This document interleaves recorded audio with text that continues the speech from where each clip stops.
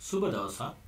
අද අපි කතා කරන්නට බලාපොරොත්තු වෙන්නේ අපොස සාමාන්‍ය පෙළ හෝ එහෙම නැත්නම් උසස් පෙළ තොරතුරු හා sannivedana තාක්ෂණය ඉගෙන ගන්න හැම දරුවෙකුටම ඉතාමත් වැදගත් වෙන කොටසක්. විශේෂයෙන්ම ඇල්ගොරිතම් ගොඩනැගීමට අදාළව ව්‍යාජකේතයක් කොහොමද ලියන්නේ කියන එක තමයි අද අපි කතා බහ කරන්න බලාපොරොත්තු වෙන්නේ. ඇල්ගොරිතම් ඇල්ගොරිතම්යක් ගොඩනගන්න පුළුවන් ආකාර දෙකක් තියෙනවා. එකක් තමයි ගැලීම් සටහන්. ඒ කියන්නේ ඇඳලා පෙන්නන එක අපි කියනවා ගැලීම් සටහන් කියලා. රූපික නිරූපණය. ඒතර මේ රූපික නිරූපණය අකුරෙන් ලියලා පෙන්නුවොත් ඒක අපි හඳුන්වනවා ව්‍යාජකේත එහෙම නැත්නම් සූඩෝ කෝඩ් කියලා අපි හඳුන්වනවා. අද අපි කතා බහ කරන්න බලාපොරොත්තු වෙන්නේ කොහොමද සූඩෝ කෝඩ් එකක් ගොඩනගන්නේ කියලා. සූඩෝ කෝඩ් එකක් ගොඩනගන්න කලින් අපි විසින් හඳුනගන්න ඕන දේවල් කීපයක් තියෙනවා. එකක් තමයි සූඩෝ කෝඩ් එකක් එහෙම නැත්නම් ව්‍යාජකේතයක් ගොඩනගන්න පාවිච්චි කරන්න පුළුවන් වචන කීපයක් තියෙනවා. එකක් තමයි ව්‍යාජකේතයක් ආරම්භ කරන්න පුළුවන් අපිට ස්ටාර්ට් එකෙන් ඉවර කරන්න පුළුවන් ස්ටොප් කියන වචනේ. එහෙම නැත්නම් අපිට සුඩෝ කෝඩ් එකක් ආරම්භ කරන්න පුළුවන් begin වලින් එහෙම නැත්නම් අපිට end වලින් ඒක අවසන් කරන්න පුළුවන්. ඔබට start කියන එකෙන් ව්‍යාජකේතේ ආරම්භ කළා stop එකෙන් අවසන් කළත් ඒක නිවැරදි. එහෙම නැත්නම් begin වලින් ආරම්භ කරලා end වලින් ව්‍යාජකේතේ අවසන් කළත් ඒත් නිවැරදි. මේ දෙකම හරි. ඒ වගේම ඕනනම් සිංහල භාෂාවෙන් ඔබ ව්‍යාජකේත ලියනවා නම් ආරම්භය කියන වචනෙන් පටන් අරන් අවසානය කියන වචනෙන් ව්‍යාජකේතය අවසන් කරන්න පුළුවන්. හැබැයි මෙතෙන්දි මට දෙන්න තියෙන උපදේශය තමයි අප සාමාන්‍ය පෙළ ඉගෙන ගන්න දරුවන්ට ගොඩක් වෙලාට ගැලීම් සටහනක් දීලා තමයි ඒකෙන් ව්‍යාජකේත ගොඩනගන්න දෙන්නේ. ඒතර ගැලීම් සටහන තියෙන්නේ සිංහලෙන් නම් ඔබ හොඳම දේ තමයි ව්‍යාජකේත සිංහලෙන් ලියන එක. ගැලීම් සටහන තියෙන ඉංග්‍රීසි භාෂාවෙන් නම් හොඳම දේ තමයි ඉංග්‍රීසියෙන් ව්‍යාජකේතය ගොඩනගන එක. නමුත් උසස් පෙළදී අපිට දෙන්නේ යම් සිදුවීමක්. ඒ සිදුවීම පාවිච්චි කරලා තමයි ගැලීම් සටහන හෝ ව්‍යාජකේතය ගොඩනගන්න දෙන්නේ. එතෙන්දී ඔබට දීලා තියෙන වචනම පාවිච්චි කරලා ගැලීම් සටහන හෝ ව්‍යාජිකේතය ගොඩනගන එක තමයි වඩාත් හොඳ. හොඳ එතකොට අද දවස අපි කතා බහ කරන්න බලාපොරොත්තු වෙනවා මේ ක්‍රම දෙකම භාවිත කරමින් ගැලීම් සටහනකට අදාළ ව්‍යාජිකේත කොහොමද ගොඩනගන්න කියලා. අපි ඉස්සෙල්ලම ගන්නවා පාලන ව්‍යුහ අතරින් ifs then else එහෙම නැත්නම් පාලන ව්‍යුහ තුනක් අපිට හම්බ වෙනවා. එකක් තමයි අනුක්‍රමණය, අනිත් එක තමයි තේරීම, අනිත් එක තමයි පුනර්කරණය. එතනින් අපි මුලින්ම කතා බහ කරන්න බලාපොරොත්තු වෙන්නේ පාලන ව්‍යුහයක් විදිහට තේරීම. තේරීමේදී if කියන එක පාවිච්චි කරලා කොහොමද මේ ගැලීම් සටහන ඔබ දැක්කොත් ඔබට පේනවා ඇති මේ ගැලීම් සටහනේ තියෙන්නේ සරල තේරීමක්. සංඛ්‍යා දෙකක් ඉන්පුට් කරනවා A හෝ A සහ B කියලා විචල්්‍ය දෙකක් ඒ විචල්්‍ය දෙකෙන් A විශාලයි B නම් ඩිස්ප්ලේ කරනවා A කියලා එහෙම නැත්නම් ඩිස්ප්ලේ කරනවා B කියලා. ඒ වගේ අවස්ථාවක් තමයි මේකේ තියෙන්නේ. හොඳයි අපි බලමු මේ වගේ අවස්ථාවක් කොහොමද අපි ව්‍යාජකේතයක් කරන්න කියලා. ඔබට පේනවා ඇති ව්‍යාජකේතේ ආරම්භ කරනවා අපි begin වලින් අර input ab කියන එක ඒ විදිහටම අකුරු වෙනස් නොකර ලියනවා. ඊට පස්සේ ඔබට පේනවා කොන්දේසියක් තියෙනවා. දැන් මේ කොන්දේසියක් ගත්තාම කොන්දේසියක අපි හඳුන ගන්න ඕන දේ තමයි මේ කොන්දේසිය පාවිච්චි කරලා තියෙන ඩයමන්ඩ් හැඩයක් එක්ක. එතකොට ඩයමන්ඩ් හැඩයකින් කියවෙනවා ප්‍රධාන දේවල් දෙකක්. එකක් තමයි සරල තේරීමකටත් ඩයමන්ඩ් හැඩය භාවිත කරන්න පුළුවන්. පුනර්කරණයකටත් ඩයමන්ඩ් හැඩය භාවිත කරන්න පුළුවන්. එතකොට අපි හරියටම හොයාගන්න ඕන මේක පුනර්කරණයක්ද එහෙම නැත්නම් තේරීමක්ද කියලා. ඒක හරි ලේසි හොයාගන්න විදිය. උදාහරණයක් විදිහට මේ ඩයමන්ඩ් හැඩෙත් එක්ක යර්ස් වෙලා යම් දෙයක් වෙලා ඒක එතනින් ඉවර වෙනවා නම් නොවුනහම යම් කිසි දෙයක් වෙලා ඒක එතනින් ඉවර වෙනවා නම් ඒ කියන්නේ ඒක සරල තේරීමක්. හැබැයි අපි හිතමු මෙන්න මේ විදිහට මම මේක නිකන් ඇඳලා පෙන්නන්නම්.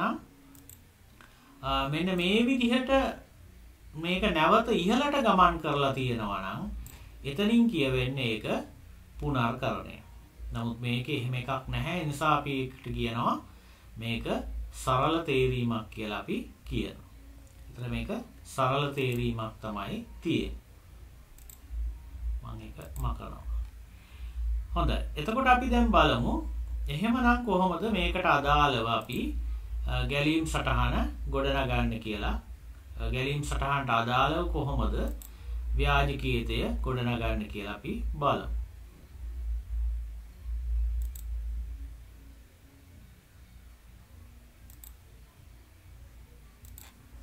අපි if එකත් එක්ක ලියනවා කොන්දේසිය අපි කියනවා A විශාලයි B කියලා. ඒක බලාගෙන ලියන්න පුළුවන් අපේ අර ඩයමන්ඩ් හැඩ ඇතුලෙන්.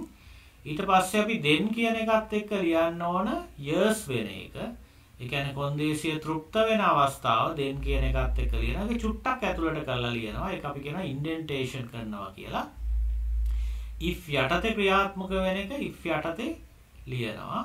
එල්ස් යටතේ ක්‍රියාත්මක වෙන්නේ කොන්දේසි අසත්‍ය වෙන අවස්ථාව අපි ඒක ලියනවා එල්ස් යටතේ ඩිස්ප්ලේ B කියන එක. දැන් if එක අවසන් වෙන්න ඕන. අපි කියනවා if එක අවසන් කියලා end if කියන එකෙන්. ඒක අපි ව්‍යාජිකේතවල ලියනවා. ඊට පස්සේ අපි ප්‍රෝග්‍රෑම් එක එතනින් අවසන් බව end කියන වචනේ පාවිච්චි කරලා ඒක දර්ශනය කරනවා. ඔන්න ඒ විදිහට තමයි අපි ගැලීම් සටහනක් ගොඩනගනකොට පාවිච්චි කරන්නේ. If එකේදී ඒ වගේ මේ if එක නැවත නැවත පාවිච්චි වෙන අවස්ථා අපි හඳුන්වනවා nested if කියලා. මේ තියෙන්නේ nested if අවස්ථාවක්. ඒ කියන්නේ if එක නැවත නැවත භාවිත වෙනවා. අපි බලමු මේ වගේ අවස්ථාවක කොහොමද අපි ඒකට අදාළ ව්‍යාජකීයතය ගොඩනගන්නේ කියලා. මේකෙදිත් වෙනසක් වෙන්නේ අපි සුපුරුදු පරිදි begin එකෙන් ආරම්භ කරනවා. ඊට පස්සේ input amount කියලා වචනයක් තියෙන්නේ. ඒක input එකක්. අපිට පුළුවන් ඒක ඒ විදිහටම ලියන්න මම begin එක නැවත ලියන්නම්. මගේ අකුරු ටිකක් පැහැදිලි නැති වුන නිසා මම ඊළඟට ලියනවා input amount එක ඒ විදිහටම බලාගෙන ඒ අකුරු ටික ඒ විදිහටම ලියන්න ඕන. ඊට පස්සේ තේරීමක් තියෙන. amount එක විශාල නම් 5000ට වඩා අපි ඒක if එකක් එක්ක ලියනවා. Amount විශාලයි 5000 amount විශාලයි greater than කියන එක. 5000 ඒකත් එක්ක අපි ලියනවා then කියන වචනේ. දැන් සත්‍ය වුණොත් අපි දන්නවා display 10% ඩිස්කවුන්ට් කියන එක තමයි මෙතන පාවිච්චි වෙන්නේ. මෙතන 10% ඩිස්කවුන්ට් කියන එක මෙන්න මෙතනින් අපි ලබා ගන්නවා. ඊට පස්සේ කොන්දේසි අසත්‍ය වෙනවා නම් else එකකට යනවා. ඒ කියන්නේ no කියන්නේ else කියන එක හැම වෙලාවෙම. හැබැයි else එකේ නැවත තේරීමක් තියෙනවා. ඒ නිසා අපි කියනවා else if කියලා. else එකේ if එකක්. ඒකේ amount එක තමයි 1000ට වඩා වැඩි වෙලා තියෙන අවස්ථාව 1000ට වඩා වැඩි නම් then කියන වචනේ අපි පාවිච්චි කරනවා මම ඒක පොඩ්ඩක් ඉඩ නැති නිසා උඩින් ලිව නමුත් ඒක පේලියට ලියන්න ඕන ඊට පස්සේ ඒකේ සත්‍ය වෙන අවස්ථාව තමයි display 5% discount කියන එක. ඒ කියන්නේ discount එක දෙනවා 105. එහෙම ඊළඟ අවස්ථාවේදී ඔබට පේනවා ඇති අපි නැවත යනවා no කියන අවස්ථාවට. no කියන්නේ නැවතත් else කියන වචනේ. එහෙම වුණොත් එතකොට අපිට තියෙන්නේ display no discount කියන එක. දැන් මේකේ diamond හැඩ පාවිච්චි වෙලා තියෙනවා දෙකක්. ඒ කියන්නේ නම් end if ඒවා දෙකක් ලියන්න ඕන.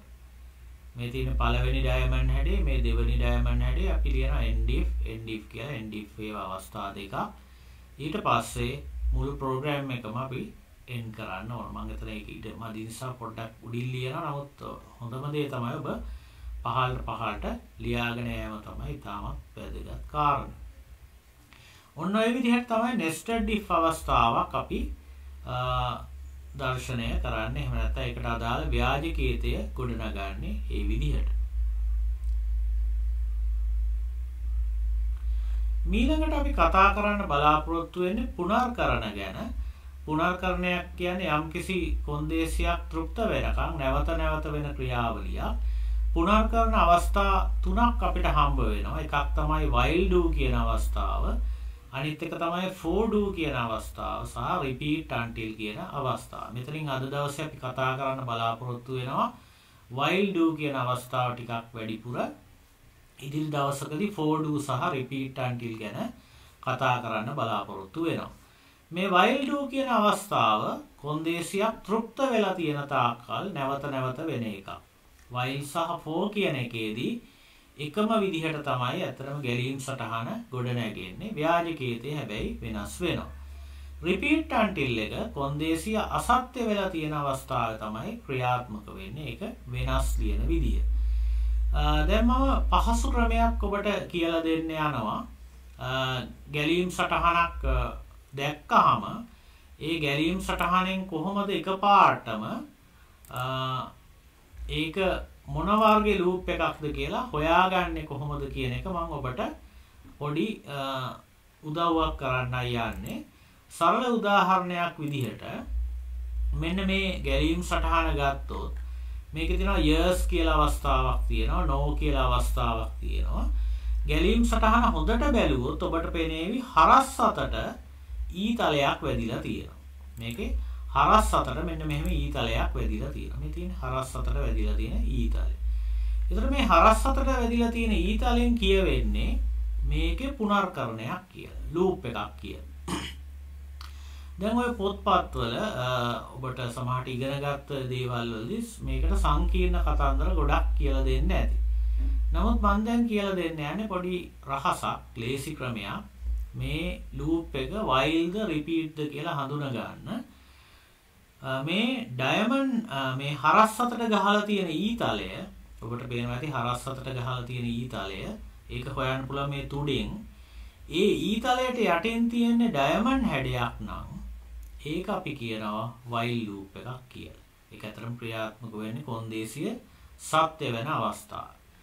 මේකේ තියෙන හැඩය ඩයමන්ඩ් හැඩයක් නැතුව වෙනත් හැඩයක් වුණොත් ඒක ඔබට ලේසියෙන් විභාගෙදි හඳුනා ගන්න පුළුවන් රිපීට් ලූප් එකක් කියලා.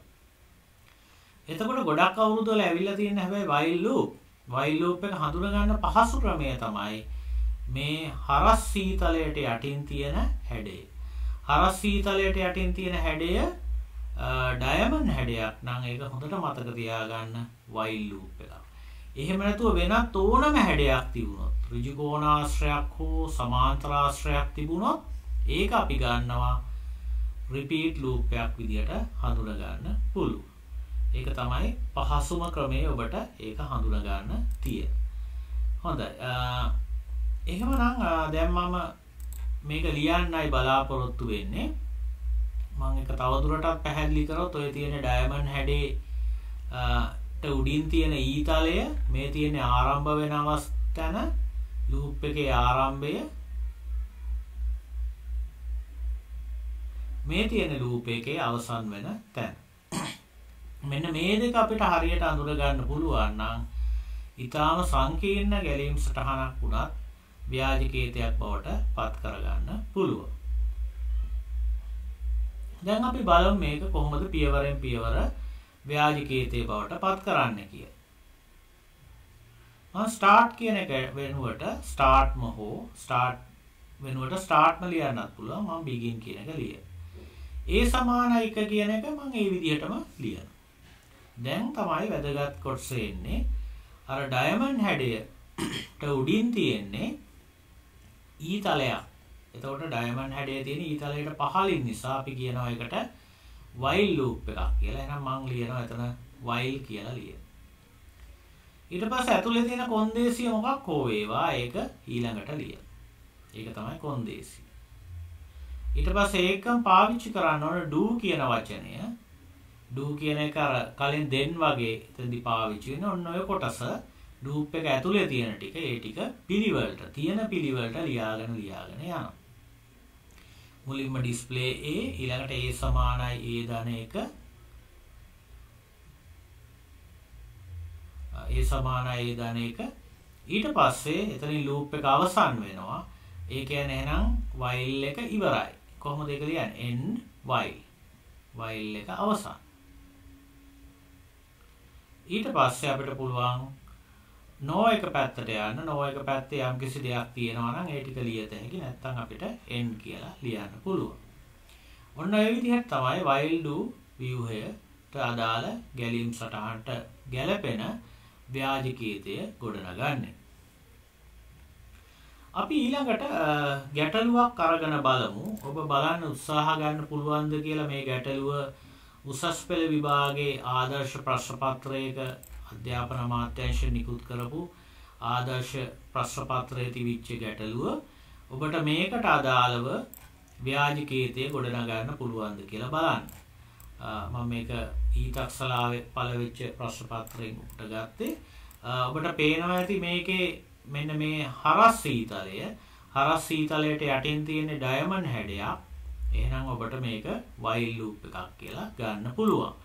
එතකොට මේ no කියන එකෙන් පස්සේ එන ටික, ඒ කියන්නේ end while එකෙන් පසුවට එන ටික, ඒ ටික අපි ගන්නෙ end while එකෙන් පසු.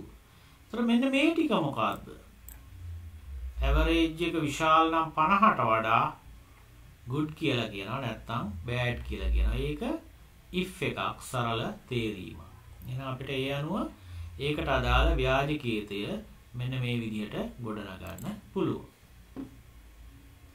begin කියලා ලියනවා මුලින්ම තියෙන එක මුලින්ම ලියනවා ඊළඟට total සමානයි බිඳුවයි කියලා ලියනවා ඊට පස්සේ අපිට while loop එකක් ලැබෙනවා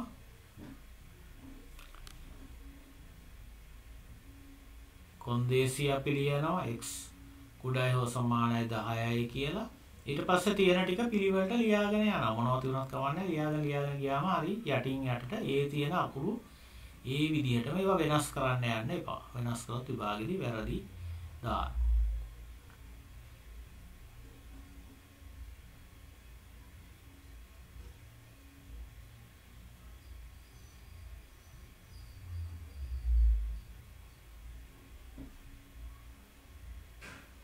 ඊළඟට x සමාන x ධන 1යි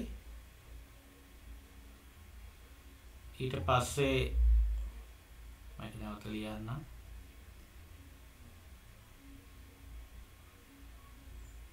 ඊට පස්සේ ටෝටල් එක හැදෙන හැටි ටෝටල් එක හැදෙන්නේ ටෝටල් එකට මැට්ස් එකතු වෙලා. එතනින් ඔබට පේනවා ඇති අපේ ලූප් එක අවසන් වෙනවා. එනිසා අපි while එක අවසන් බව කියනවා end while කියලා. ඊටු ටික එහෙනම් එන්නේ end while එකෙන් පස්සේ. end while එකෙන් පස්සේ ටික අපි ලියාගෙන යනවා.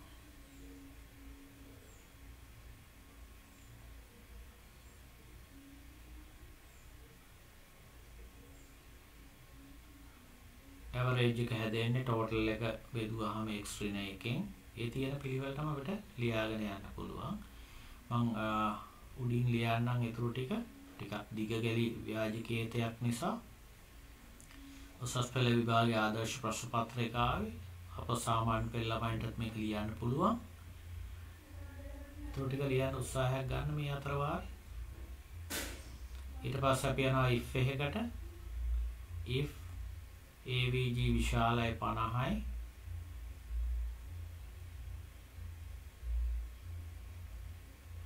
then ඒ කියන්නේ කොන්දේසිය සත්‍ය වෙන අවස්ථාවට යනවා කොන්දේසිය සත්‍ය වෙනවා කියන්නේ display good කියන එක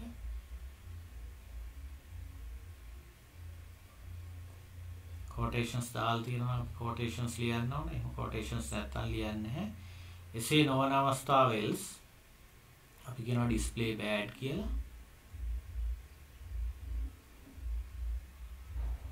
ඊළාට if එක අවසන් බව අපි කියන්න ඕනේ end if එකෙන්.